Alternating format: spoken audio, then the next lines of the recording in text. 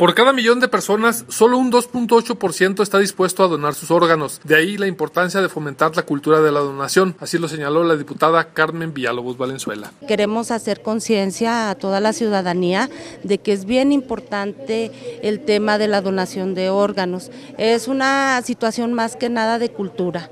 Lamentablemente por la mala información la gente no quiere donar porque piensan que el día que tengan sufran un accidente no van a ser bien atendidos y los van a dejar morir, cosa que es totalmente falso. Decirles que tenemos que es muy importante la donación de órganos, darle una esperanza a todos los pacientes que están enfermos decirles que hay pacientes de dos años, dos años y medio con la esperanza de ser trasplantados. Decirles que tenemos que fomentar la cultura, que ahorita estamos aprovechando el Parlamento Infantil para que desde niños se les vaya haciendo la formación de esta cultura de la donación de órganos.